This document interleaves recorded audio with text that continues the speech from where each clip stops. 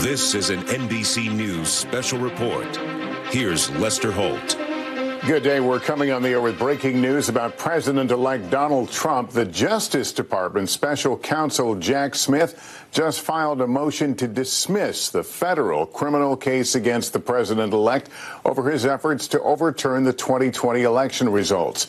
The news comes after NBC News learned the Justice Department had been planning to wind down its federal cases against Mr. Trump. It also comes as NBC News learned that Smith and his team plan to resign before Mr. Trump returns to the White House.